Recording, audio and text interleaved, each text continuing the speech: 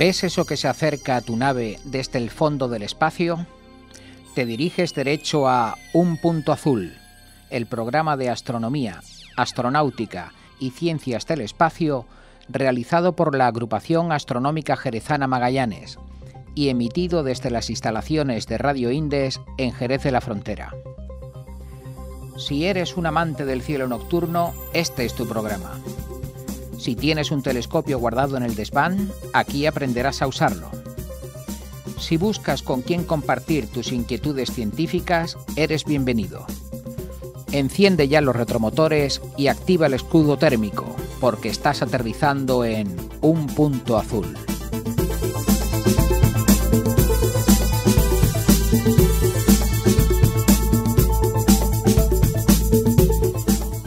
Bienvenidos a Un Punto Azul, un martes más, desde los estudios de Radio Indes, bueno, la agrupación astronómica Jerezana Magallanes, empezamos un nuevo programa. Y bueno, hoy tenemos, eh, tenemos que hablar, que alguna vez lo hemos comentado, pero mm, esta vez tenemos a gente de conocimiento y causa sobre la contaminación lumínica y voy a saludar en primer lugar a, a Heike. ¿Qué tal? ¿Cómo estás? Hola, ¿qué tal? Muchas gracias por la invitación, Agustín. Pues nada, muchas gracias a ti por, por venir y bueno, eh, contarnos la labor tan interesante que haces y, y, bueno, que tenemos que anunciar además que este jueves, el, bueno, el jueves que viene, ¿no? El, eh, la semana, el que, viene, la semana que sí. viene, el día 14, eh, te podamos a poder escuchar en, en el zoológico, así que ahora nos contará un poquito. Bueno, vamos a saludar también eh, a Javier Parra, que creo que está en Rota. Bienvenido, Javier, ¿qué tal? ¿Cómo estás? Hola, buenas noches, un placer estar aquí. Bueno, pues muchas gracias también por venir. También nos vas a hablar eh, de la contaminación, bueno, quizás desde otro punto de vista también, desde el proyecto E-Labs, ¿no? Sí, efectivamente, efectivamente, un proyecto europeo con el que ya llevamos bastantes años y bueno, ya luego contaremos, si me dais la oportunidad, pues contaré algunas cositas desde el punto de vista más riguroso y más científico. Muy bien, pues muchas gracias Javier y ahora os presentaré, pero bueno, saludo a Ingrid que hoy nos acompaña, que es una nueva socia de Magallanes. Bueno, bienvenida y gracias por venir al programa por primera vez.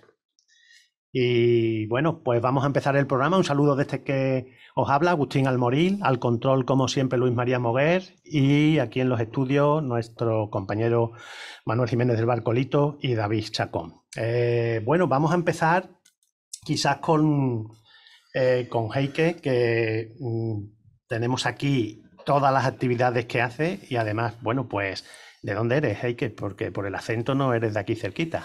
Muy gaditana no soy, lo siento. Sí. Soy alemana, he nacido en Frankfurt, eh, me he criado por ahí, aunque sí he estado muchas veces en España ya de niña y disfrutando de las playas bonitas y de la naturaleza. Muy bien. Ella, como ha dicho, es alemana, eh, estudió Ciencias de la Comunicación en la Universidad de Maguncia y, bueno, tiene experiencia en laboratorios de biología, también estudió Administración de Empresas, Ciencias Políticas y Filología Española. Bueno, entonces tiene buen conocimiento además de, del español. Todo un abanico, Todo sí. un abanico. Bueno, y actualmente, como ya he dicho, reside aquí en Cádiz desde hace ya, bueno, tres décadas y aunque trabaja como agente de gestión de destino, pues, y además destinos también científicos y biológicos, pues es socia de la Sociedad Gaditana de Historia Natural y, bueno, voluntaria para la conservación de la naturaleza y cielo nocturno, aparte de monitora astronómica certificada por la Fundación Starlight. Eh, bueno, pues bienvenida.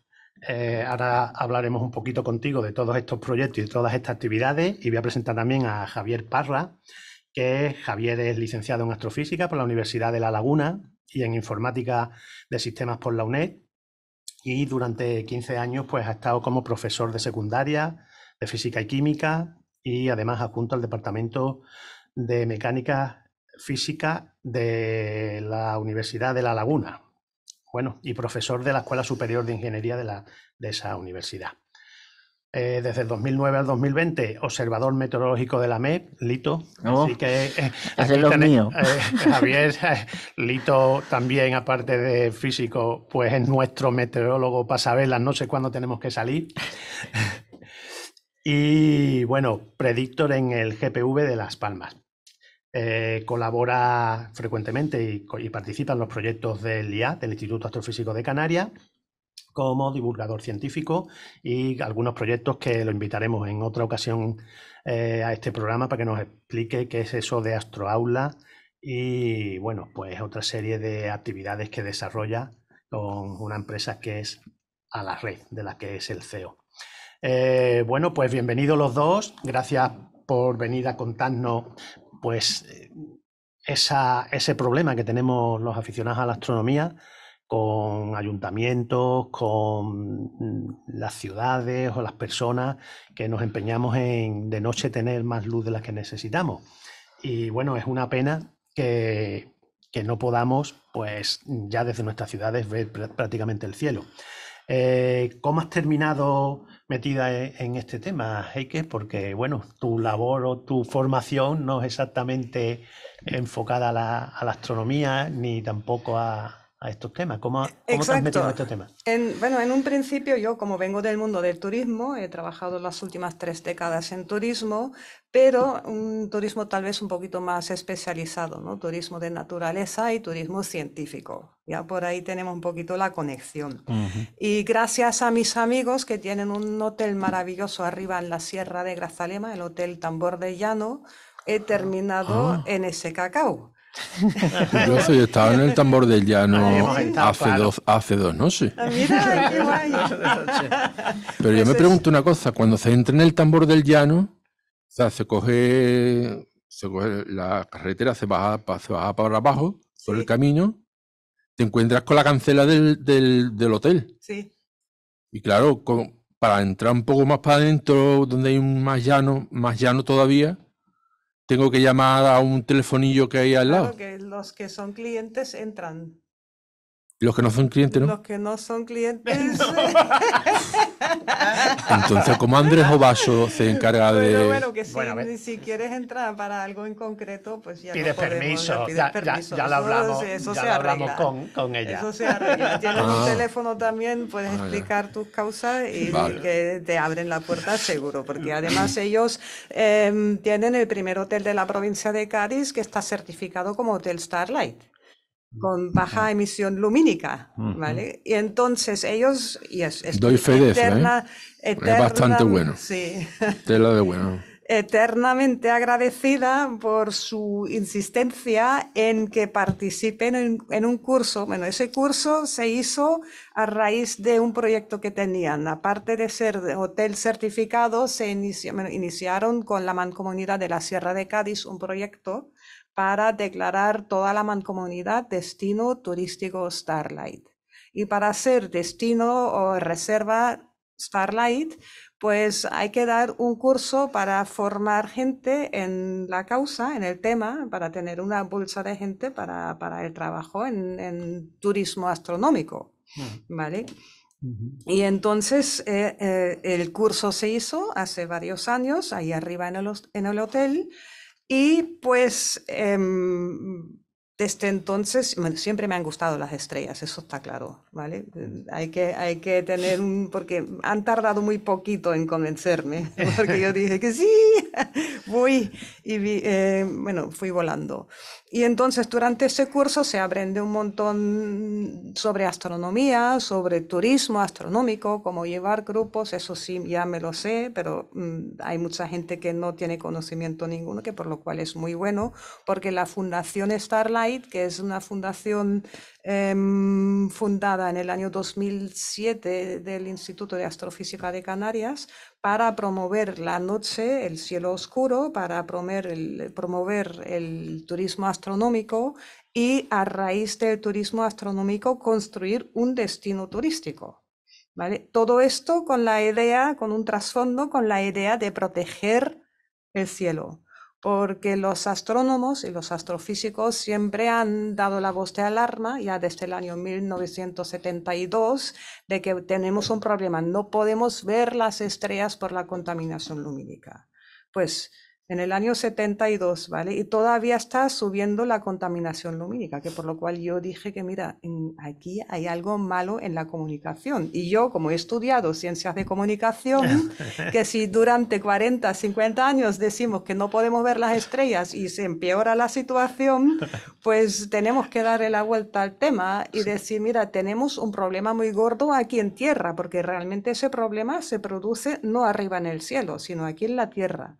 Y para ver a las estrellas, pues como mucho hay un 10% de la población que mm. esté interesada realmente en ver a, las estrellas. Al resto, desgraciadamente, le da un poquito igual, ¿vale? Pero lo que no nos da igual es la influencia que tiene la luz en nosotros, no solamente en nosotros. La luz y la sombra o la luz y la oscuridad. Es, muy importante. Durante miles de millones de años, la Tierra estaba eh, bajo esta influencia, sigue, eh, sigue estando bajo, bajo de esta influencia, y nosotros, nuestro medio ambiente, la biodiversidad, todo lo que vemos alrededor de nosotros, estaba siempre desde los principios bajo esta influencia. Y así nos hemos diseñado a nosotros. Los animales, la naturaleza, el medio ambiente, todo eso depende de ello. Siempre estaba un poquito consciente del, tema de que sí, que la luz es muy importante, las hormonas también, la noche también es muy importante, la no luz también es muy importante. La luna, por ejemplo, es una luz, pero no siempre está la luna en el cielo, ¿no? Y ahí llegamos directamente a nosotros, a las mujeres precisamente, porque la luna con sus 28 días pues eh, ha producido un ciclo que no en vano tarda 28 días en la mujer. ¿Vale? Por algo es. Y entonces hablando, hablando, hablando, hablando con la gente después del curso, con alcaldes, con políticos, me he enterado de prácticamente nadie está consciente del, del problema. Yo lo llamo la amenaza, la amenaza ignorada. Se ignora por completo. No por querer ignorarla, sino por tal vez un poquito por ignorancia, por desconocimiento. La gente no sabe y nunca se ha, nunca se ha repartido esta información. Entonces he dicho, vale, pues hay que, hay que trabajar en esto, hay que, hay que poner las manos a la obra y, y, cambiar un poquito la comunicación esta de que no podemos ver las estrellas, sino decir que aquí en Tierra tenemos un problema y además es un problema gordo, ¿vale? Gordo, gordo, hasta que pues influye tanto que todavía no está muy investigado, pero influye tanto que nos puede cambiar la salud, nuestra propia salud, ¿vale? Por la contaminación lumínica. Y entonces, pues sí, ahí, ahí existe este problema y este problema, por ejemplo, es tan amplio que ni siquiera existe una definición completa o unificada de lo que es realmente la contaminación lumínica. ¿Qué es? Pues la contaminación lumínica es la luz artificial nocturna y puedo añadir bajo el cielo, no bajo techo. ¿Vale? Que prácticamente toda la luz artificial puede ser una contaminación lumínica, vale, pero estamos aquí los hombres que necesitamos la luz porque además somos mamíferos diurnos que nos encanta la luz, nos sentimos mucho más seguros con la luz y no podemos vivir de noche sin la luz, ¿vale? De eso, no quiero ir apagando todas las luces. Si no estoy consciente que sí que necesitamos la luz artificial nocturna para algo, pero eh, se puede mejorar y mucho, ¿vale? Mm. Y se puede ver incluso con menos luz, al final incluso se puede ver más. Esto ya un poquito Podemos más cuando tú quieras, si quieres, como nos siguen también por YouTube y por nuestra TV, por Twitch, podemos compartir si quieres alguna imagen cuando tú me digas de, Vale, bueno, que si queremos la podemos sacar ahora mismo, ¿no? ¿Cuál? ¿La de Mallorca, por ejemplo? La, la, lo que he dicho de la seguridad de la, de la luz, ¿vale? Que si yo quiero apagar la luz, mucha gente me dice, y es un problema muy gordo, mucha gente me dice, em, pero que si tenemos poca luz, no vemos. Y si no vemos, corremos peligro.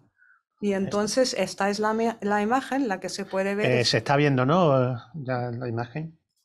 Pues vemos una imagen para los que nos escucháis, en donde es una casa con una puerta muy oscura, no sabemos si está ni abierta y cerrada, porque nos está dando una luz impresionante en la cara.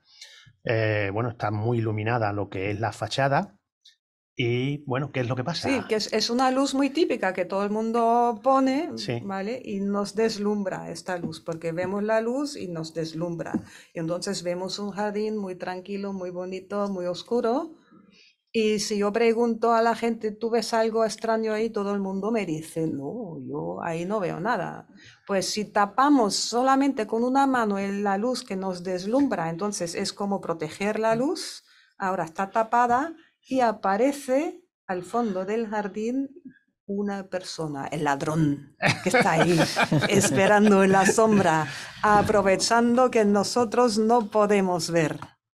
¿Vale? Y entonces ahí ya queda demostrado que con menos luz o con la luz un poquito más tapada podemos ver más, ¿vale? O mejor direccionada, ¿no? Porque, porque la dirección de la luz eh, que de la primera fotografía vamos, la misma fotografía, pero sin tapar el foco, el foco irradia la luz por todas las partes, se ve todo el jardín, pero provoca unas sombras un poquito más para allá de la luz en la puerta, que cuando se tapa el foco o está direccionado solo al suelo, se sigue viendo todo el jardín, pero la puerta de entrada también se ve se ve quién hay, por lo menos. Sí, eh, se ve que hay alguien.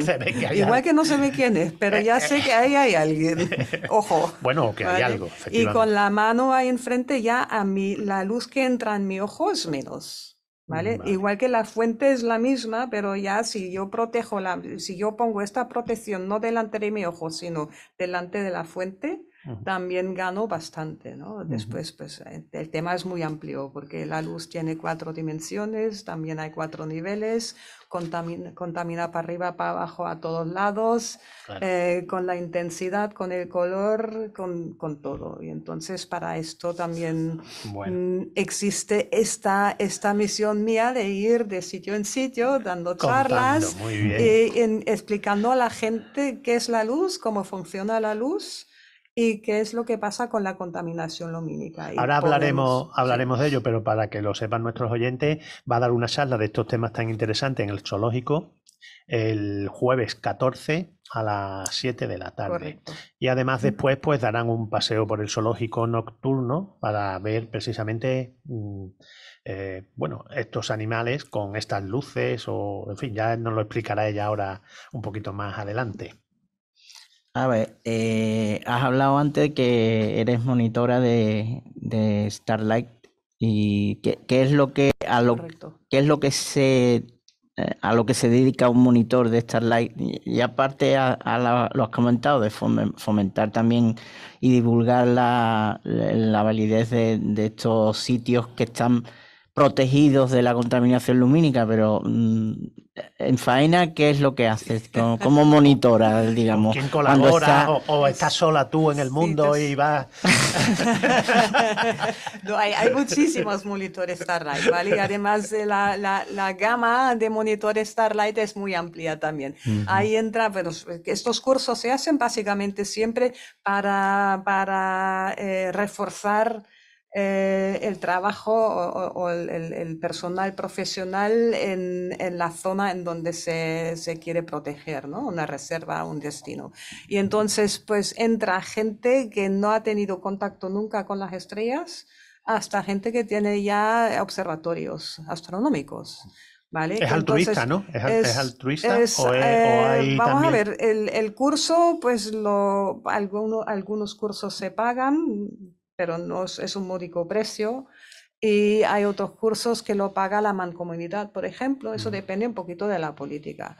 Y después los monitores que salen de ahí, pues eh, ellos, algunos tienen su trabajo de astroturismo, que por lo ah, cual ellos sí dan visitas guiadas por el cielo, senderismo con observación astronómica, eh, eh, mm, de todo tipo lo que se, lo que se te puede ocurrir, ¿no? Mm, em, y cobrando, claro, una experiencia, una excursión con una experiencia, pues también se cobra. Hay muchas mm. empresas que se dedican, que se dedican a esto, planetarios, todo, todo, todo, todo tipo. Entonces yo, como yo he visto este problema tan gordo y como tengo un fondo también biológico de, mi formación temprana, que digamos, que he visto la necesidad de que hay que hacer algo, entonces mi camino, pues en vez de enseñarle a la gente las estrellas, he terminado a enseñar a la gente cómo apagar las luces y de qué manera apagar las luces para que podamos seguir viendo las estrellas o mejorando la calidad del cielo incluso dentro de la ciudad.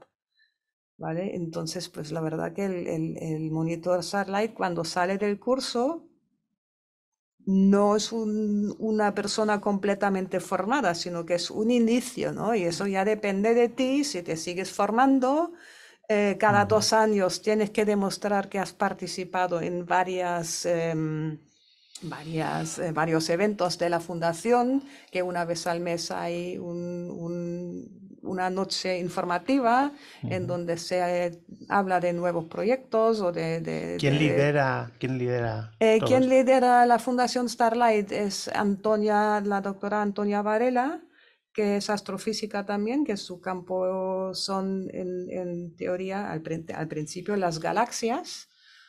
Y pues también está muy, muy metida en el mundo de formación de mm, adultos. Y entonces ella ahora mismo también, aparte de eso, es directora del Museo de Ciencia de La Laguna en Tenerife, viene del Instituto de Astrofísica de Canarias y pues en, la idea de la fundación es eh, proteger los cielos a través o con la ayuda de, eh, constituir o de, mm, formar destinos turísticos o reservas Starlight y así ampliando el terreno y a través de esto llegar a mejorar la calidad del cielo, ¿vale? Que la calidad del cielo en el destino turístico ahora mismo, por ejemplo, no, no hace falta que sea óptima, óptima, pero hay que trabajar en el tema.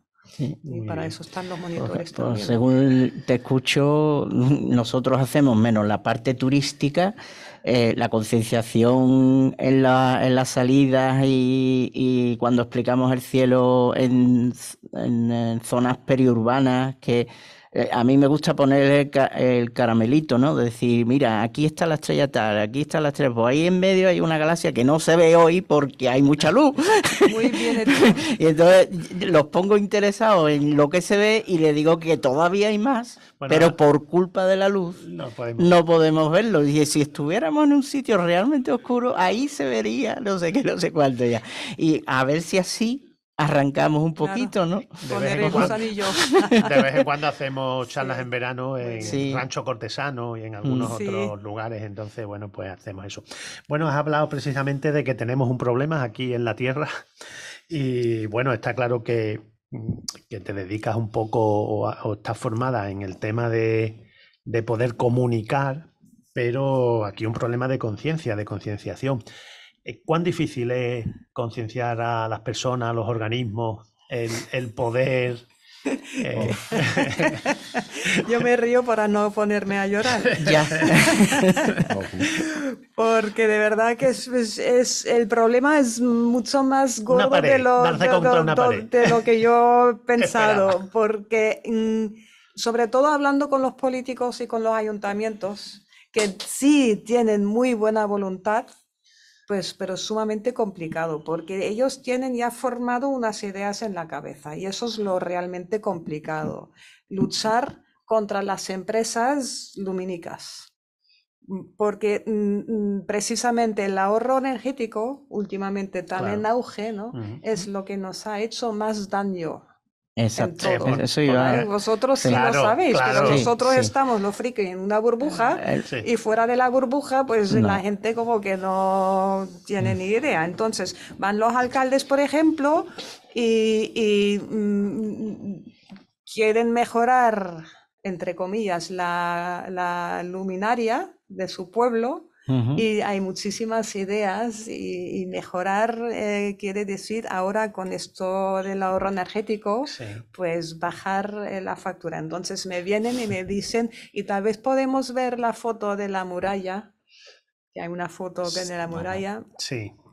que han mejorado, ahí es una foto de Italia, han mejorado mucha, mucho la, la, iluminación de la muralla y el resultado, pues si lo podemos ver, el resultado es, la verdad, es, yo me, me he puesto a llorar, pero bueno. Otra gente dice, ¡ay, qué bonito! Que parece Walt Disney. Sí. y hay una muralla muy larga con luz roja, luz azul, luz morada, luz ah, verde de todo tipo, eh, súper precioso, muy cursi y muy, muy contaminante. Estamos compartiendo para los seguidores en YouTube. Y muy contaminante de todos los colores, ¿vale? Eh, Entonces, pues esto, por ejemplo, dicen, vale, pues tenemos ya con, la, con el ahorro energético, vale, tenemos que trabajar en esto. Entonces, han salido las luces LED. Sí muy baratas y los alcaldes me dicen, ah, no, es que bueno, hemos cambiado recientemente y ahora pues em, gasto mucho menos luz. Digo, no, mentira. Dice, no, ¿por qué me dices mentira? Digo, acabas de decir que gastas mucho menos luz. No, no, no, es que es verdad, yo te puedo enseñar la factura. Digo, seguro que gastas menos dinero. Sí, sí, sí. Digo, sí, pero tú gastas más luz. No, no, no. Digo, sí.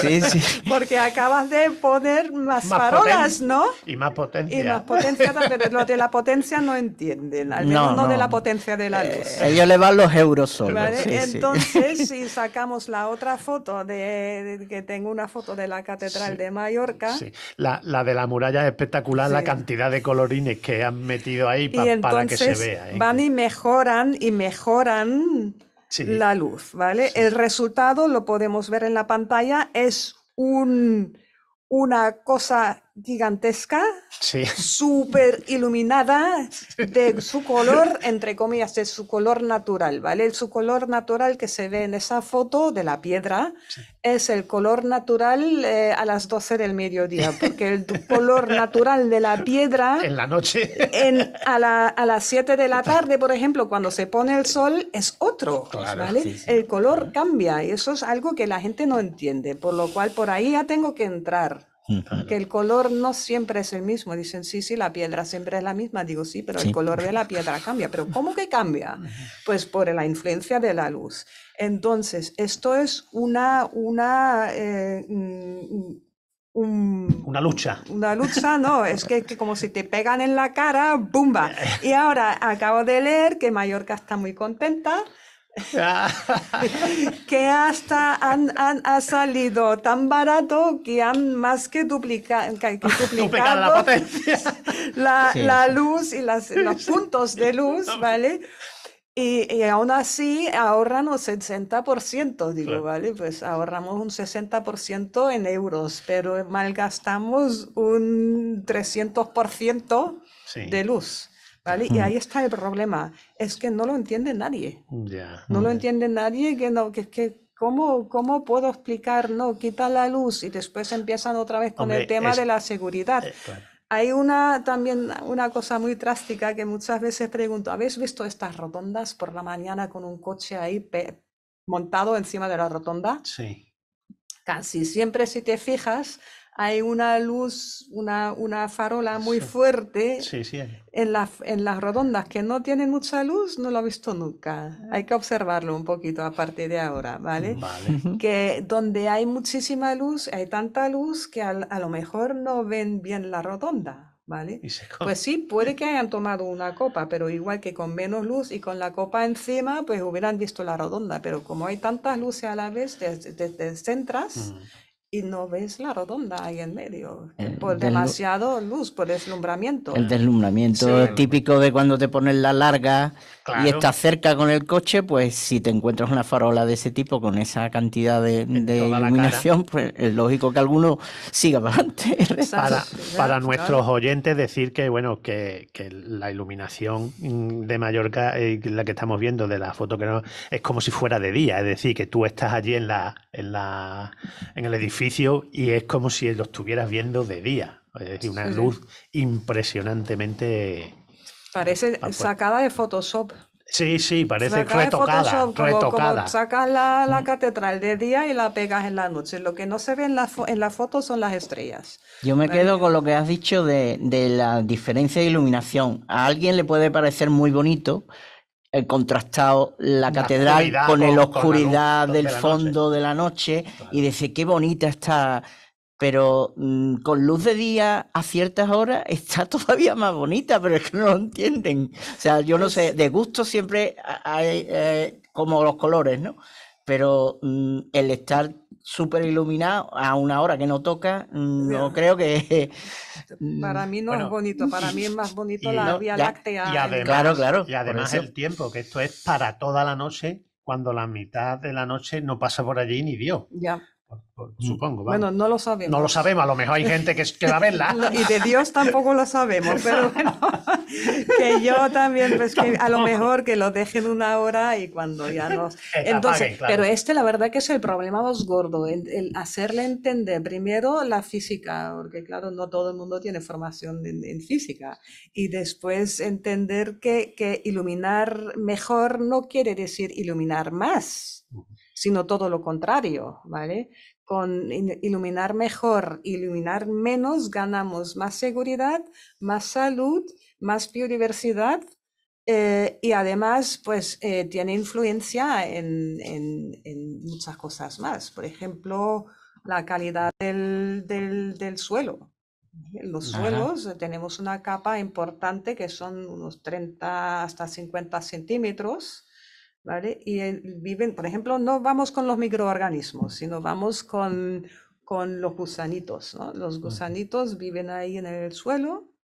Cuando se pone la noche, suben porque ya tienen menos peligro de ser comidos. Cogen la hojita la, y, la llevan por debajo del suelo para comérsela. Si la luz cae encima del suelo, pues el gusanito no sube se muere de hambre porque ahí está, de día de día esperando, esperando, esperando, no se pone de noche, no sube. Si no sube, si no coge la hoja, en la hoja que hay, en la hoja de un árbol que hay, CO2, hmm. ¿vale? El CO2, si el gusano lo coge, se lo come, el CO2 se queda en el suelo. Si el gusano no sube y no se lo come, el CO2 va a la atmósfera. Y eso sí es importante saberlo, porque eh, la contaminación lumínica, el aumento de la contaminación lumínica puede, si seguimos ese razonamiento, puede influir también en el eh, cambio climático. Muy interesante.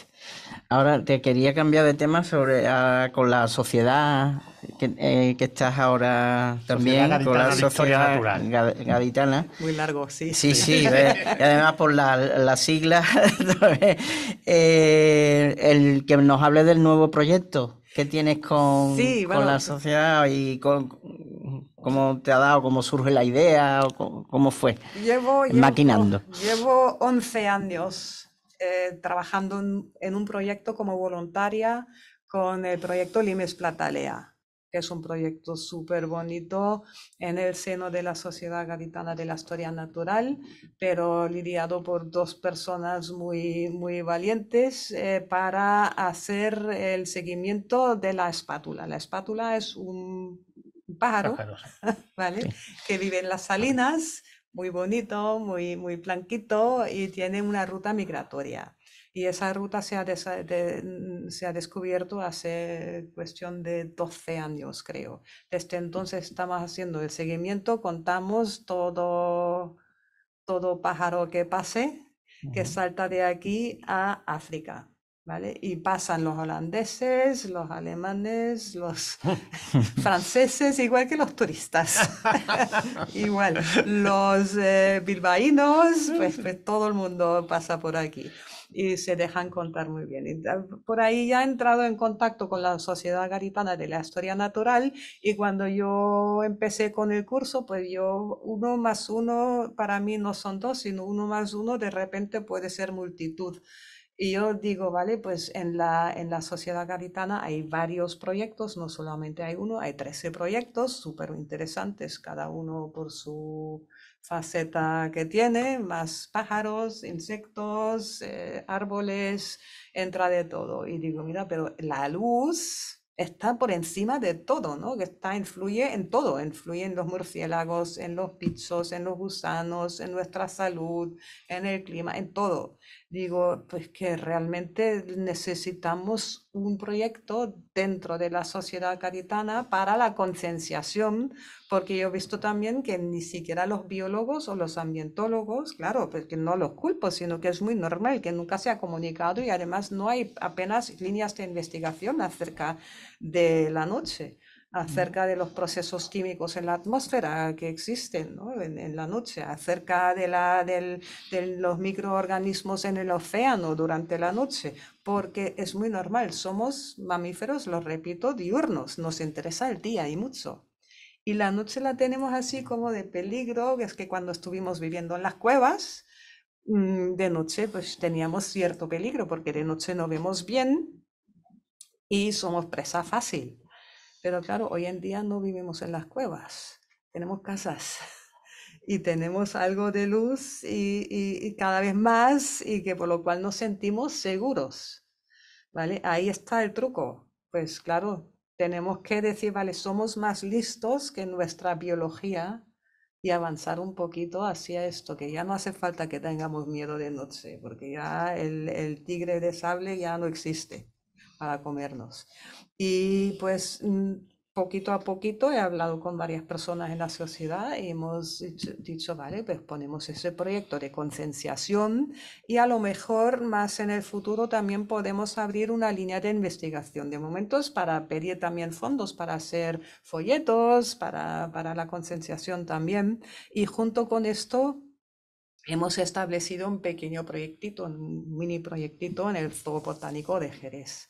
Cuéntanos, que ahora nos tendrás que contar sobre, sobre el show sobre y, la actividad que vamos a realizar o que vas a realizar vosotros. Vamos. Exactamente, pues la actividad que ahora mismo solamente es como hacerle una radiografía a las luces a la luminaria que hay dentro del zoológico, ¿no? del zoo botánico. Entonces, he entrado junto también con Javier y junto con un amigo de Alemania que también es astrofísico y es el responsable de las certificaciones de los parques Dark Sky en Alemania, que ha venido aquí para acompañarme en ese proyecto un poquito y eh, para medir la emisión de la luz en el zoo, para saber por dónde están puestos las luminarias, hasta qué punto entra la luz en las parcelas de los ¿Cómo animales. afecta a los animales, no? Claro. ¿Cómo? le afecta a los animales? Pues para eso necesitamos una línea de investigación, ¿vale?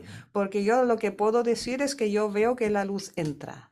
Ahora, ¿tiene efecto o no? Científicamente no lo, lógicamente que tiene efecto, ¿vale? Pero para hablar científicamente necesitamos línea de investigación, estudios, cifras, números, ponerlo todo sobre papel y después publicarlo en alguna revista de mm, ciencia, ¿vale? Para que tenga.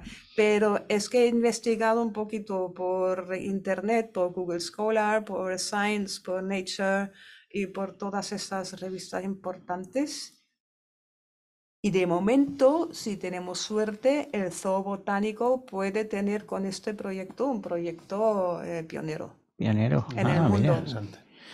En el mundo, ¿vale? Porque mm, parece que no se ha hecho. Lo que sí se ha hecho es investigar cómo puedo cambiar el turno del animal para que mis visitantes lo puedan ver. Un animal nocturno lo quiero ver de día porque de noche el zoológico lo tengo cerrado.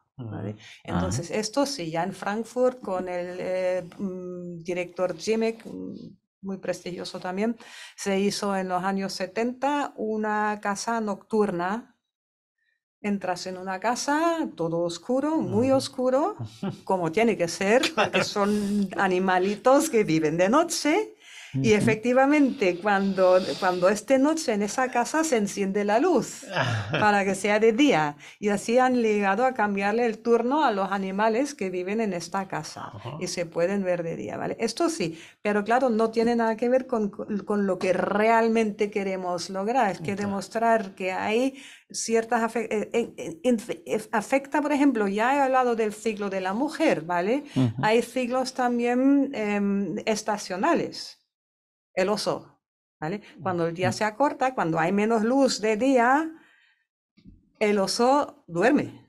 ¿vale? Si no se acorta el día porque de noche hay la misma luz que de día, pues el océano al final no, duerme. Es casi lógico, ¿no? Sí, no entra en letargo, ¿no? Pero claro que tengo que demostrarlo. Tengo sí, hay que, hacer números. Saca dinero, em, hay que convencer a los políticos, porque claro, yo em, algo tenemos que comer todos. Claro.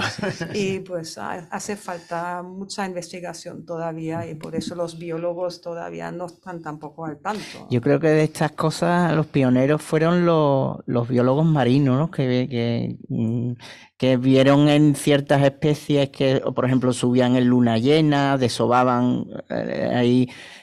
pero en terrestres y en menos en zoológicos ya, eso es verdad que no hay nada pero que, de eso ya hay algo, pero mm, sí, eh, hay que, hay que seguir ahí. Hay a verlo, ahí sí, pero muy poquito. Muy poquito, sí. es importante que ampliemos la investigación. Bueno, pues antes de dar pase, paso a Javier, eh, bueno, tenemos alguna que otra pregunta, pero ya las ha ido contestando porque ya sabemos que la concienciación en los ayuntamientos, pues ya nos has explicado el éxito que tienes con ellos.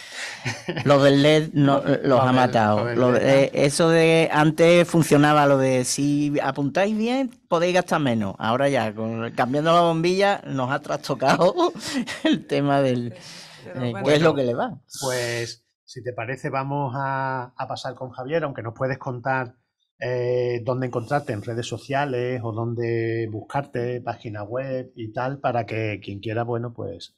Bueno, pues a mí se me encuentra llévame, en, en la página web Llévame a las estrellas, tal como suena, llévame, a, las estrellas.com y sale en Google arriba. Eh, sí, no sé si, si Luis la puede compartir y la vemos ahora de fondo mientras hablamos. Sí, Eh, si tienes planes de futuros, ¿cuáles son los planes para...? Sí, los planes de futuro, pues son muchísimos.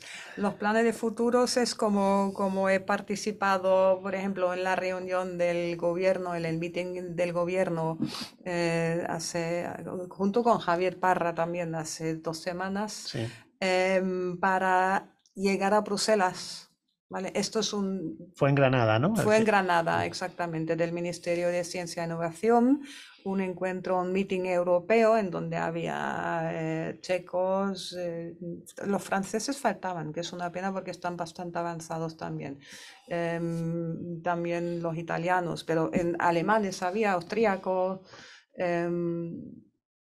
Toda Europa debería estar ahí, ¿vale? Para, para, que nos pongamos juntos y para que pongamos este tema en la agenda en Bruselas, ¿vale? Porque a duras penas se ha logrado ahora mismo en la nueva ley de la naturaleza que aparezca la palabra contaminación lumínica, que ha costado y mm. mucho, ¿vale?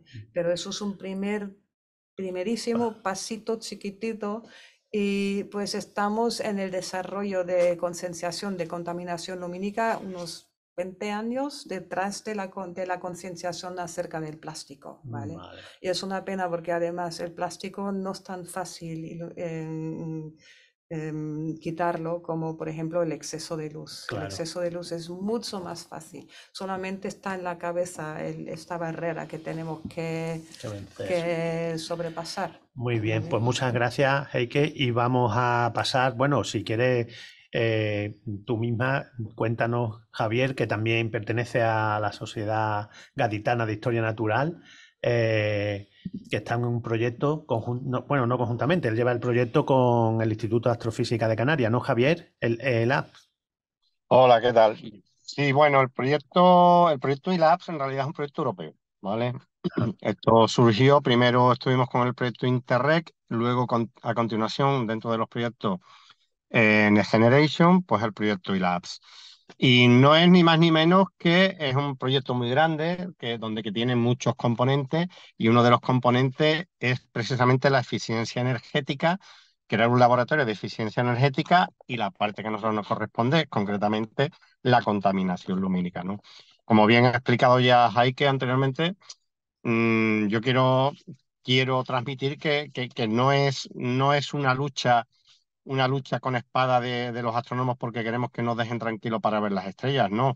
Es que ahí surgió el tema porque somos los que presentamos mayor inquietud y mayor necesidad de oscuridad pero ya está más que demostrado por muchos artículos científicos, muchas investigaciones, que la contaminación lumínica está afectando a muchas especies, ¿no? Eh, todavía no hay datos contundentes ni claros de que está afectando al ser humano, que indirectamente sí que lo está, ¿no? La gente que, que tiene insomnio pues necesita menos luz y no tener una farola en su ventana, pero yo creo que esto ya se está convirtiendo en un problema eh, mm, multiespecie, es decir, que no solamente es una reivindicación de los astrónomos, que ya los observatorios no lo intentamos llevar lejos, antes estaba en las ciudades ya es impensable, sino que es un problema mm, a nivel mundial, quizás relegado porque hay otros otros problemas que consideramos mucho más importantes, que no lo dudo, como es el cambio climático, incluso el ruido, pero no olvidemos que la contaminación lumínica, la amenaza fantasma, la amenaza ignorada, también es un problema importante y hay que tenerlo en consideración. Muy bien. ¿Y en qué consiste exactamente tu labor? Bueno, o, el proyecto, eh, la parte que realizáis vosotros. ¿Y qué relación tiene pues con la, bueno, no sé si tiene alguna relación con la sociedad gaditana, si también participáis como asociación? Bueno, yo participo, eh, yo conocí la Sociedad Gaditana Historia Natural a, través de Jaike, ¿no? que coincidimos una vez en una, quiero recordar, en una charla que di yo, creo que fue en el puerto de Santa María, ¿no? Correcto. En Códice. Ah, sí, con Códice, con Juan Antonio. Sí, con Juan Antonio, exactamente. Y a partir de ahí ella me contó su, en, en qué se movía, en qué estaba trabajando. Yo hablé allí sobre precisamente la contaminación lumínica desde un punto de vista, digamos, mucho más científico, no tan divulgación de cara al ciudadano. Y bueno, a partir de ahí, pues establecimos una buena relación de amistad y hoy casi que trabajamos con proyectos comunes, ¿no? Y a, través de ella, pues entramos en la Sociedad Gaditana Historia Natural. A ver, eh, ¿por qué nos consideramos interesante y la parte, digamos, que me corresponde a, a mí o la, o la que yo he llevado siempre a cabo? Nosotros como astrónomos, pues también estuvimos, empezamos a sufrir en Canarias eh, porque parece que no, pero también los observatorios se ven amenazados. en Canarias, toda la zona sur eh, de la isla, en, Tenerife y la zona norte, y también pasaba en La Palma, con el turismo creciente, pues cada vez empezaba a contaminar más, a contaminar más. ¿Qué pasa? Que no nos podíamos quejar mucho, pero sabéis vosotros que en ciencia aquello que no se mide no existe. Entonces, ¿qué es lo que tuvimos que hacer? Pues desarrollar unos dispositivos llamados fotómetros que pudimos distribuir en muchos sitios y medir. A partir de las mediciones tenemos argumentos más que suficientes para ir a una administración pública, a un ayuntamiento, a una comunidad, a donde, donde sea, ¿no? Diciendo, mire usted, estos son los datos que se están ofreciendo. Es decir, la luz de su municipio está afectando a este parque natural, a este entorno. Y precisamente, digamos que un poco mi labor es la de mantener y, bueno, la de desarrollar estos, estos dispositivos. Y ahora mismo estamos desarrollando redes, ¿no? Que bueno, hay una red muy, muy importante. Eh, es una comunidad eh, pionera en todo esto, que lo ha hecho muy bien, lo está haciendo muy bien, y se han desplegado, hay más de 300 fotómetros desplegados, que es Extremadura. No sé si habéis conocido el proyecto Extremadura Buenas noches. A partir de ese proyecto nos contactaron, desplegamos la red y hoy se está midiendo, porque vuelvo a repetir, desde ciencia, lo que no se mide no existe, ¿no? Mm. Muy bien. Bueno, pues, eh, ¿qué más nos puedes contar sobre tu actividad y, el proyecto en concreto? Bueno, pues lo que os cuento sobre el proyecto, eh, eh, también, por supuesto, algo que nosotros siempre llevamos por bandera es que estos datos de los fotómetros son datos abiertos y públicos. Es decir, y si queréis otro día, pues, pues puedo, podemos presentar. Esto es muy interesante. Es muy interesante porque cualquier ciudadano, cualquier investigador, cualquier periodista, cualquiera persona que quiera saber lugares del mundo donde se está midiendo la contaminación lumínica puede acceder a nuestra plataforma. Es totalmente gratis y abierta y puede ver esos datos de magnitud. Sabéis que la magnitud de oscuridad, desde el punto de vista científico, se mide en magnitud de por segundo al cuadrado. Es una, es una, una unidad logarítmica que se mm, convierte, digamos, en algo que se puede medir. La oscuridad absoluta no existe y el valor máximo de magnitud que se puede detectar es 22,1. La Palma llega a 22, ¿vale? Porque es un lugar privilegiado y sabéis que hay un, el único sitio del mundo que tiene una ley de protección del cielo. Pero cuando estás por magnitudes por encima de 21, estás habilitado, digamos, estás certificado para poder pedir la certificación Starlight.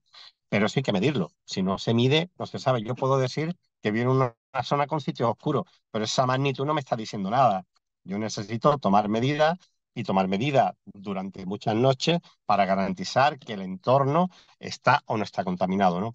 Y realmente eso es lo que hacemos, vomitamos todos esos datos, por así decirlo, en un, en un broker y esos datos se muestran de forma fácil para que el ciudadano, evidentemente, pueda, o cualquier persona interesada, un astrónomo, pueda ver si la zona a la que va a ir a observar es una zona eh, eh, óptima para hacer una observación astronómica o para hacer un estudio de insecto de aves o no lo es. Eh, yo, yo, recuerdo que hace unos años aquí en, se formó la Federación Andaluza de Agrupaciones Astronómicas, que agrupa eh, llamadas RADA, que agrupa las agrupaciones que formamos aquí en Andalucía o parte de ellas. Y había un proyecto muy parecido, pero para quedarnos los datos, no para, digamos, para conocimiento nuestro de cuáles eran los sitios mejores para observación.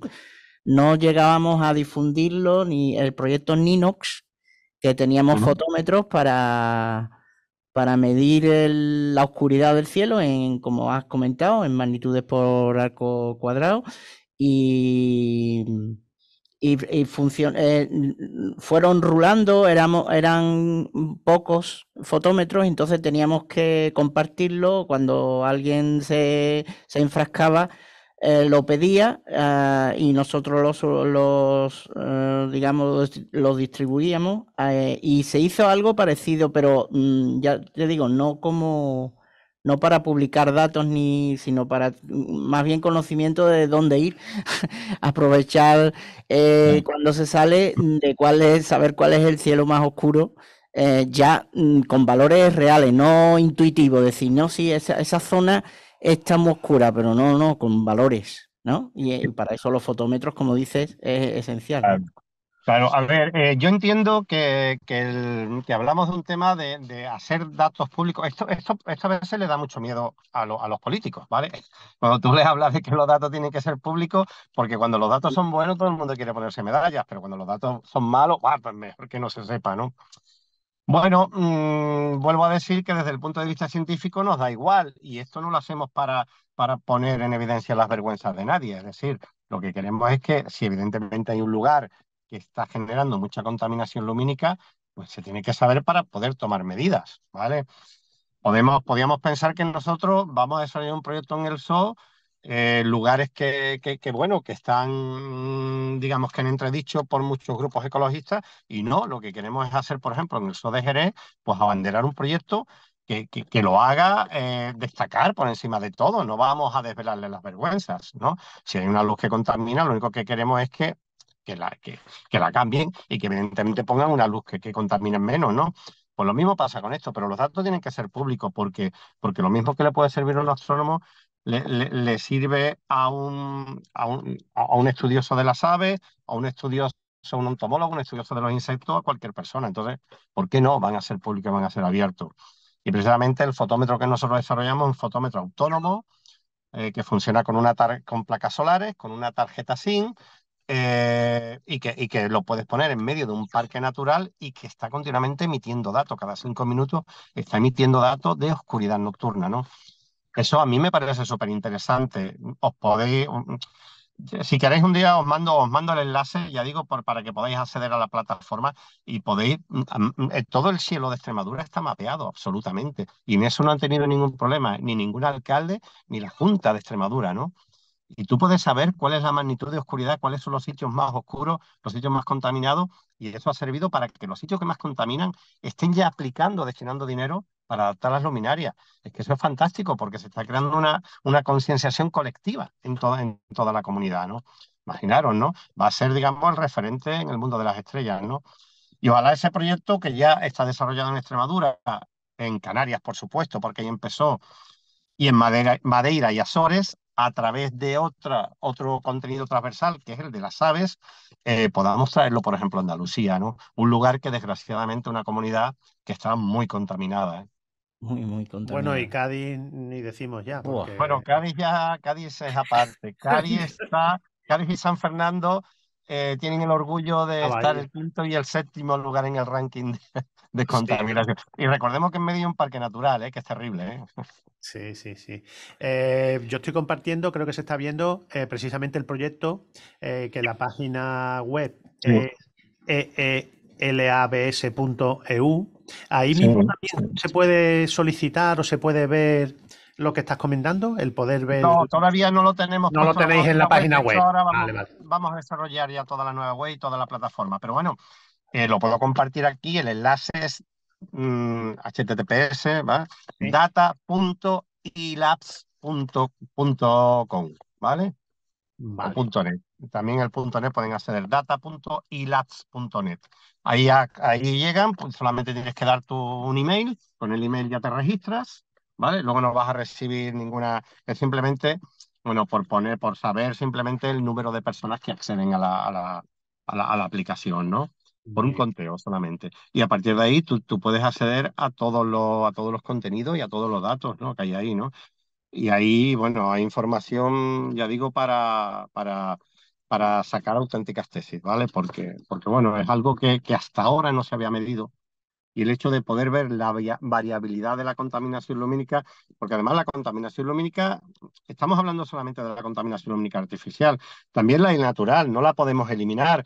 Pero, por ejemplo, la luna es un agente contaminante y eso todos vosotros que sois aficionados a la astronomía lo sabéis, ¿verdad? Es el mayor enemigo casi del astrónomo, ¿no? Aunque a la gente le parezca maravillosa ver la luna. La Vía Láctea también emite contaminación lumínica, la luz zodiacal también emite contaminación lumínica. Todo eso se mide y podemos saber realmente cuando medimos un cielo qué factor de contaminación aporta cada uno de estos elementos.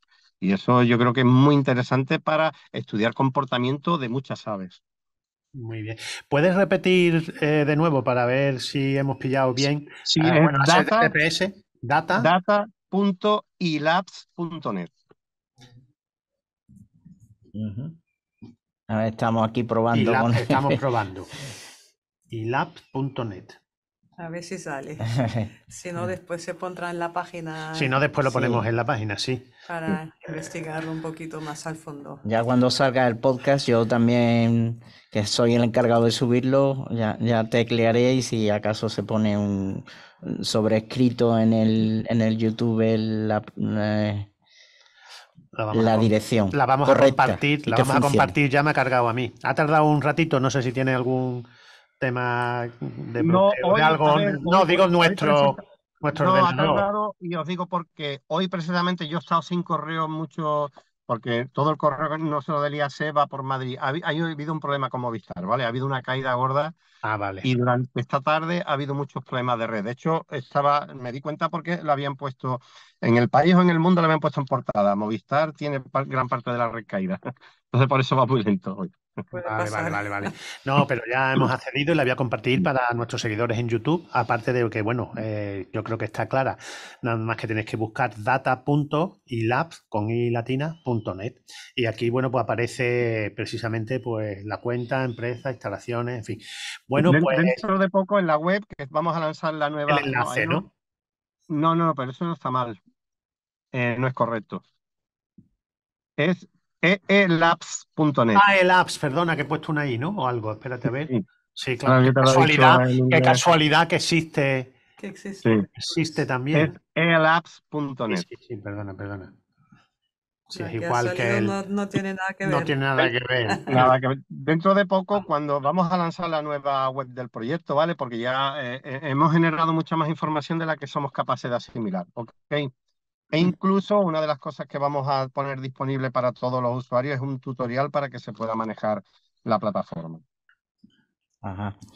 Vale. Pues- Nosotros, bueno, alguna vez, no es directamente la agrupación, sino algunos compañeros como Jesús Carmona, Andrés Obacho, han estado colaborando en proyectos eh, que llevaba Zamorano. Emilio, yo creo que se ha jubilado ya, ¿no? Sí. Sí, Jaime Zamorano. De hecho, el Jaime, primer Jaime, fotómetro- ¿no? Sí. El primer fotómetro que se desarrolló, participamos nosotros con Zamorano, que son los test, ¿vale? El fotómetro que nosotros hemos desarrollado tiene la misma, ahora vamos a sacar otra versión, es el NET, ¿vale? Pero todavía no está, ya un- otro día lo contaré.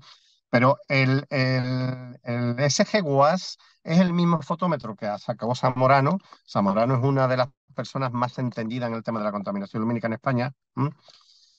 Y lo que pasa es que el test tiene que estar enchufado a la red eléctrica y necesita un wifi. El que nosotros hemos desarrollado es completamente autónomo, ¿vale? Pero Zamorano es un pope en el, en el tema de la contaminación lumínica en España. Ya está jubilado, Eh, efectivamente. Sí, sí, está jubilado. Bueno, eh, de hecho, nuestro compañero Andrés Obacho, que lo pusieron en el instituto para que los niños recogieran todo y después mandaran los datos y hicieran el Eso. estudio y tal, eh, era un estudio muy interesante.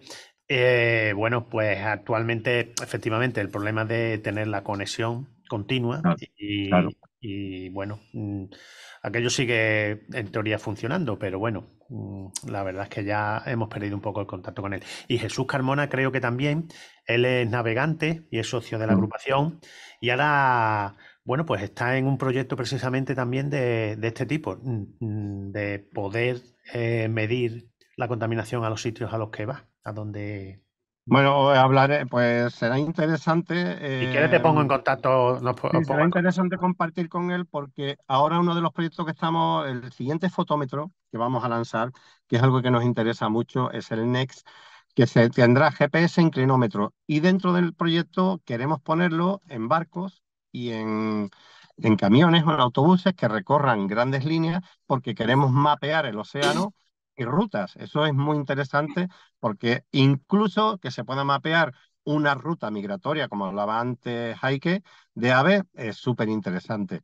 Y hacerlo en barcos que cruzan el océano, pues, pues algo que, que, puede ser muy bueno, ¿no? Nadie ha mapeado nunca la oscuridad del océano, ni sabemos cómo, cómo afecta la luz de las costas a pocas millas, ¿no? Ya, ya, ya. Eh, bueno, pues nada, muchas gracias. No consigo, vamos, ya no le voy a dedicar más tiempo a conectar a data.net. No te preocupes, yo- yo- Tú me mandas la dirección y ya la, ponemos. No sé si es que la estoy poniendo al final mal otra vez o es que. Porque es que cuando le das el, el Google te busca lo que quiere, no lo que quieres, sino si lo pongo Vale. directamente en la página me dice que no existe. Y si lo busco por Google, pues te pone efectivamente Yo otro. os lo mando ahora, no os preocupéis. Muy Vale. bien. Bueno, pues ya estamos casi acabando el programa. No sé si quieres decir algo más, eh, Javier, antes de que nos marchemos sobre el proyecto, sobre lo que tú quieras. Por supuesto, estás invitado eh, cuando tú quieras. Ya tengo tu teléfono, vamos, y tú tienes el mío. Podemos estar en contacto para que, eh, vamos, ya en este mes tenemos más o menos programadas nuestras secciones y, y para enero un poquito también, pero a partir de mitad de enero, febrero, si te parece, pues, o bueno, cuando a ti te venga bien, claro, eh, eh, puede ser más adelante. Nosotros hasta junio estamos aquí y el año que viene también, por supuesto. Entonces nos interesaría mucho tenerte aquí, bueno, y que nos hables de, de todos estos temas e incluso, bueno, de, de la asociación a la que perteneces, Seilos y eh, todo este tipo de otras actividades, el aula que tienes también. Perfecto, yo estaré encantado de participar y lo único que añadir es que mm, evidentemente hablabais antes del tema de la concienciación. A ver, esto es complicado, es complicado, pero no imposible. Eh, mm, tenemos el caso del cambio climático, pues ya sabéis el planeta en el que vivimos y llevamos hablando del cambio climático mucho tiempo y la mayor parte de la población y por supuesto los políticos no están concienciados. Pero bueno, la labor de los científicos es seguir hablando, aunque, aunque recibamos tortazos, tenemos que seguir intentando concienciar. Y yo recuerdo que también costó mucho concienciar a la gente con el reciclaje de la basura. Hoy, el que no recicla tiene un poco de remordimiento. Yo mismo en casa, a veces estoy cocinando rápido y echo el cartón en el sitio que no debo y es mi hija la que me regaña. Entonces, eso se ha conseguido no de un día para otro, sino que la labor ha sido muy larga. Y hoy prácticamente, pues yo creo que todos los que estamos aquí y una buena parte de la población recicla, ¿verdad? Bueno, tendremos que seguir en la lucha y no nos queda otra. Ojalá fuera así, con un clic de la noche a la mañana, pero no lo es. Sí, pero no. No lo es. Muy bien, pues lo dicho, Javier, muchas gracias. Que además Venga, no está en Canarias, sino creo que nos está hablando desde Rota, que está por Efectivamente. tierras. Y bueno, a Canarias vamos con cierta frecuencia. Tenemos allí a un corresponsal también que, que nos llama de vez en cuando para hablar de meteoritos. Bueno, pues lo dicho, muchas gracias y que también, nada, eh, tú también cuando quieras puedes volver, tanto el proyecto de eh, nuevo que estás avanzando en el zoo, ¿no? Que no sé si nos puedes contar algo más del proyecto Sí. para terminar y bueno, y por supuesto volver a repetir que el jueves 14 en el zoológico a las 7 es entrada libre, además se puede visi- no visitar el zoo, ¿eh? No lo entendáis, se va uno a la charla y después se visita el zoológico de noche viendo pues las luces que tiene y explicando, supongo, ¿no? Un pequeño paseo, sí. explicamos, explicamos alguna farola, alguna luz, un poquito, para que la gente sea consciente de que estamos hablando en la charla también, ¿no? En la mm. charla. Un ejemplo. Voy, voy a poner lo que es la luz para empezar, porque la verdad que tenemos que empezar casi desde el principio, ¿no? Explica la luz, explica cómo funciona nuestro ojo, las hormonas y todo esto, pero de una manera muy amena y muy divertida, porque ahí hay cosas, la verdad, que por eso se llama la magia de la luz, ¿no? Esa charla. Que es verdad, no hemos dicho el título. Exacto. bueno, ahora lo he dicho, la magia de la luz, y porque la luz hace una maravilla. y, la gente, la verdad que la mayoría de la gente no está muy consciente de lo que la luz nos hace. El bien que nos hace y el mal que nos puede hacer también y la importancia de la oscuridad en, en, todo esto. Entonces, esta charla que se concentra en eso, también en esta misma noche vamos a presentar ese nuevo proyecto de la Sociedad Gaditana de la Historia Natural, mm. porque no lo hemos presentado todavía en público. Y después ya, pues el proyecto del zoológico es, es este, ¿no? De, de, participar en la concienciación, a ver que si conseguimos un cambio de luces eh, para los animalitos.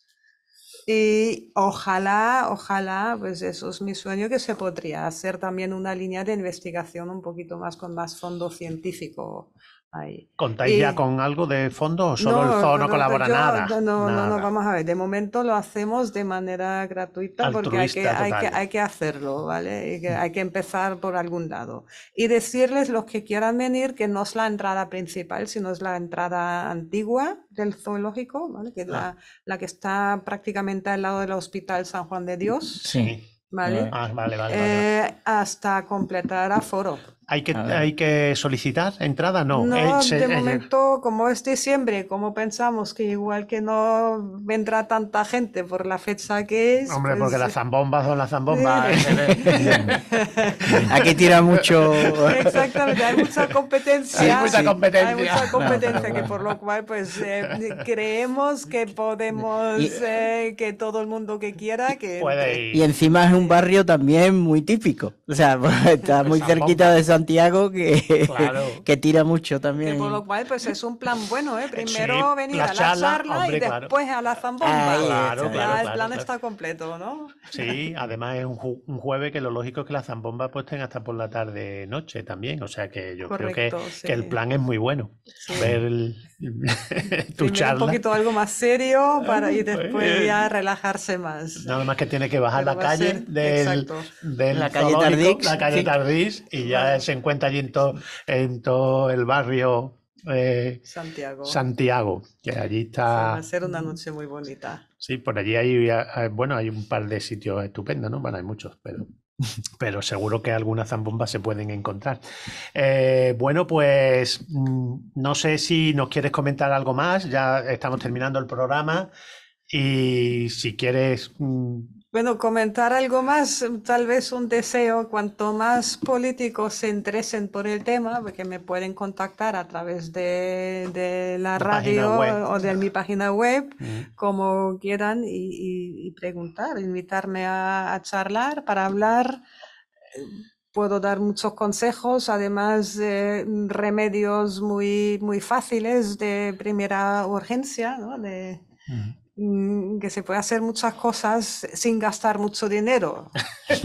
Sí, ¿no? Porque en eso consiste muchas veces, que no hace falta cambiar toda la luminaria de una vez, sino que se puede lograr mucho con, con muy poco dinero. Y en la propia casa también, ¿vale? Quien quiera cambiar algo en su jardín, que venga a la charla y escuche un poquito eh, y así puede atribuir un poquito en, en, esa... Yo no, yo no, quiero llamarlo lucha, yo, para mí es más una misión que una lucha, ¿no? porque yo no lucho contra nadie, sino que yo quiero que, que la gente entienda el, la magnitud de lo que se nos presenta aquí, porque estamos en crecimiento rápido ahora mismo con esto y nos estamos estropeando a nuestra, a nuestra propia salud y a nuestra propia especie que, está, que puede estar en peligro si seguimos así. ¿No tienes contacto con el Ayuntamiento de Cádiz, de Jerez y, y, estos ayuntamientos así más grandes? Porque has hablado un poco de Grazalema y de, y de la zona de la sierra, que allí precisamente bueno, eh, tenemos, ojalá no se contamine, pero tenemos unos cielos bastante buenos. De hecho, nosotros, la agrupación, los que hacen astrofotografía, eh, bueno, también observar, como está explicando David, es un sitio en donde solemos ir a, realizar actividades. Vamos a los llanos del, a los llanos del tambor. Sí, pero también. Pero también vamos a los llanos del campo. De, del río de Campo Buche, ahí, ahí, mm. ahí, no está mal, exactamente, abajo. Eso del sitio. Esto, ahí, ahí hay buen cielo, que lo hemos visto la otra noche que estuve ahí arriba, tanto con Javier una noche como también con el astrofísico que llegó de Alemania. Mm. hemos visto aquella noche un cielo muy bonito. Estuvimos arriba en verano, verano, verano, en mm. agosto, y nos bajamos con lágrimas, no de alegría, ah, no. no, no de alegría, porque claro, eso depende muy mucho de la época y por lo cual también esa importancia de medir 24/7, mm, todo el año entero, para saber realmente lo que está pasando. Y además, pues yo contacto con algún alcalde si tengo, claro, y el, el zoo, botánico de Jerez es parte del ayuntamiento, que por lo cual por ahí también, ¿vale? Lo importante es entender también que los cielos oscuros están amenazados no solamente por los pueblos que están ahí alrededor de este punto oscuro, sino en el tambor del llano o en el río Campobuche, en, esa, en ese llano, pues eh, tú puedes ver en el horizonte luces, ¿no? Que tú me lo puedes confirmar, que hay como luz por ahí, sky glow de varios sitios. Podemos ver Algeciras, muy bien, ¿vale? Podemos ver muy bien también a Estopo, Estepona, Benalmádena, Fuengirola, Torremolinos, Málaga, que siempre pensaba yo que era Ronda y al final resulta que es Málaga lo que veo, son 85 kilómetros. Y eso sí es fuerte, ¿vale? Veo en el horizonte y no puedo ver las estrellas por culpa de Málaga. Entonces sí tenemos que concienciar a todo el mundo y además empezar con las ciudades grandes también. ¿vale? Vamos también a la Sauceda. Sí, vale, ahí no está mal. Tampoco. bueno, y ya si lo que queremos es una cosita más cerquita, pues vamos por la carretera de Gibalbín, el kilómetro 5, kilómetro 10, y pero aquello ya se está convirtiendo en algo imposible, porque la bahía, arcos, bueno, ¿qué más zonas hay allí? Todo, todo, o sea, nada más que puedes mirar hacia arriba, o sea, lo que es eh, horizonte y hasta cuántos grados, Lito, 30 yo, o lo mediste, yo, hice, una foto de, del horizonte, bueno, en, principio era de un objeto y, como pilló mucho horizonte, dije, voy a ver toda, voy a coger el Google Maps para eh, con el azimut, sabiendo dónde está, para a, ver los globos de luz, a qué ciudades eh, pertenecía o qué pueblo. Y saqué, no, no sé si fueron 12 o 13, mm, eh, digo, desde aquí se ve tantísimo. Es increíble. No, me extraña que, claro, no se vea Málaga, se, vea desde la Sierra Málaga, ni, por supuesto, eh, eh, en un cielo ya contaminado detectaba muchísimo eh, air glow, o sea, light glow de esto. Y así que en un cielo oscuro todavía se aprecian más, las más lejanas. era decepcionante cuando empecé a, sacar la lista de todas las poblaciones que podía ver desde el horizonte. era horrible. ¿Y llegaste a cantar Utrera? Sí. Ah, es verdad, es verdad. Utrera, fíjate dónde está Utrera, que está a cuántos kilómetros estamos. Pues casi a 100. en un cielo malo ya. O sea, porque sí, sí, claro, Ya, ya. Subiendo por el puerto de las Palomas, ¿vale? Desde Zara, subiendo a medio camino hay un mirador no sé si lo conocéis, pero yo creo que sí, que está en una curva, un mirador muy bueno hacia el pantano. Y subiendo más, pues se puede ver con más claridad a Sevilla también desde este punto, ¿vale? Sevilla está por ahí, por detrás de Olvera hay, hay otro globo de luz, muy, muy... Es que son unos hongos impresionantes. Son hongos, sí. Y con la cámara yo ya me dedico a, sacar estos globos muy nítidos con la cámara. Bueno, que me divierto, hasta me divierto. Que después ya digo, bueno, pues esto se lo llevo a los alcaldes para que vean que su ciudad, pero digo, no, después no lo se lo llevo, porque igual que se ponen orgullosísimos y siguen el ejemplo del alcalde de Vigo. Bueno, Vigo ahora no sé si por Tarragona y por ahí otro, están todos luchando a ver quién consigue más, así que igual la foto hasta les gusta y dice, pues vamos a conseguir más. Esperemos que no, bueno, a ver si lo convencemos. es el peligro que corre, sí. Bueno, pues ya estamos terminando el programa. Eh, no tenemos más que darte las gracias por venir al programa, contarnos todas estas cosas y que cuando quieras puedes volver. Ya sabes que aquí nos puedes venir a contar el proyecto, cómo va, cómo acaba, cómo empiezas otro. Cuando queráis también, muchísimas gracias de nuevo por invitarme y dejar un espacio por una causa tan importante, ¿no? Que es, pues claro que la verdad que tenemos que hablar y mucho de este tema. Gracias de corazón. Bueno, pues un placer. Nada, un placer. y eh, bueno, estamos terminando compartiendo en la pantalla No sé sostenible por Heike Mai monitora astronómica Starlight y coordinadora del proyecto No sé Sostenible de la Sociedad Gaditana de Historia Natural. Bueno, la charla es La magia de la luz. Y como ya hemos dicho, es el jueves 14 de diciembre a las 7 de la tarde por la antigua Puerta del Sol en la calle Tasdir y la entrada es libre hasta completar el aforo en el Zoo Botánico. Y organizan, bueno, la Sociedad Gaditana de Historia Natural, el Zoo y el Ayuntamiento de Jerez. Pues allí nos vemos. Hasta el martes que viene. Adiós. Adiós. Adiós. Gracias.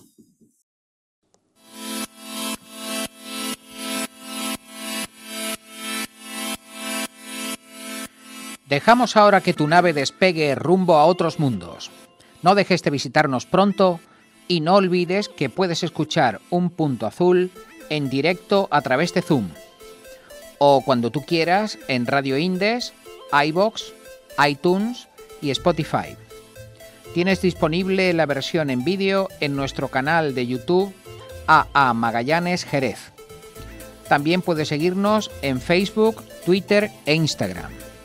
Y si quieres hacerte miembro de la agrupación, manda un correo electrónico a contacto aamagallanes.es. En todo caso, buen viaje.